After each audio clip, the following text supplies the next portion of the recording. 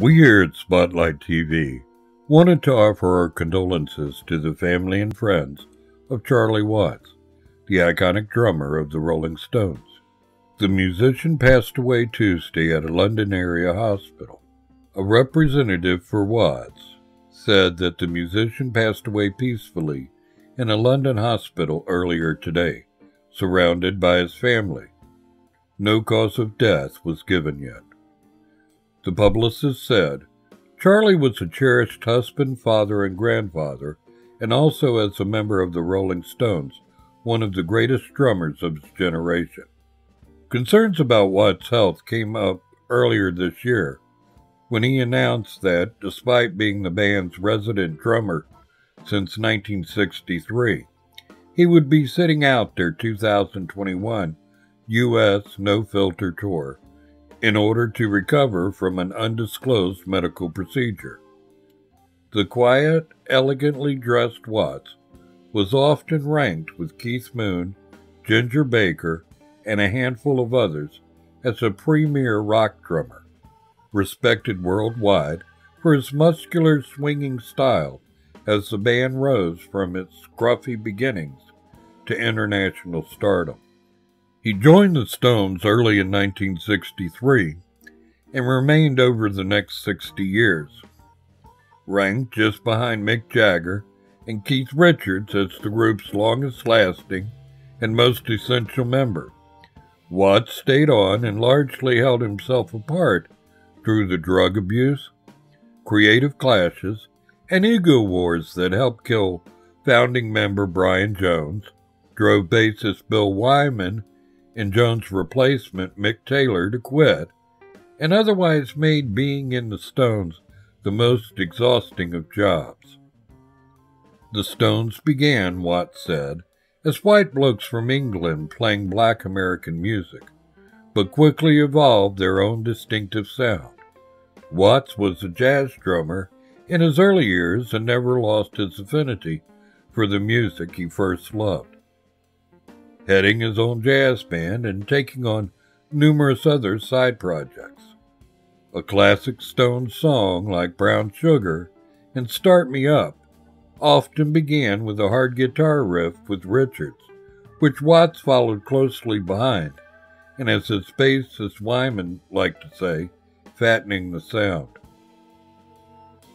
Watts' speed, power, and timekeeping were never better showcased than during the concert documentary Shine a Light, when director Martin Scorsese filmed Jumping Jack Flash from where he drummed towards the back of the stage. Watts had his eccentricities. He liked to collect cars even though he didn't drive and would simply sit in them in his garage. But he was a steady influence on stage and off as the Stones defied all expectations by rocking well into their 70s, decades longer than their old rivals, the Beatles. Watts didn't care for flashy solos or attention of any kind, but with Wyman and Richards forged some of rock's deepest grooves on Honky Tonk Women, Brown Sugar, and other songs. The drummer adopted well to everything from the disco of Miss You to the jazzy Can't You Hear Me Knockin', and the dreamy ballad Moonlight Mile. Jagger and Richards at times seemed to agree on little else besides their admiration of Watts, both as a man and as a musician.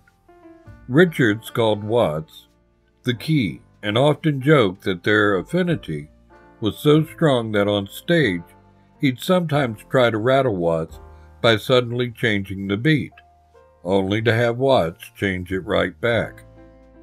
Jagger and Richards could only envy his indifference to stardom and relative contentment in his private life, when he was as happy tending to his horses on his estate in rural Devon, England, as he ever was on stage at a sold out stadium. Watts did on occasion have an impact beyond drumming. He worked with Jagger on the ever more spectacular stage designs for the group's tours. He also provided illustrations for the back cover of the acclaimed 1967 album Between the Buttons, and inadvertently gave the record its title. When he asked Stone's manager, Andrew Oldham, what the album would be called, Oldham responded, Between the Buttons, meaning undecided.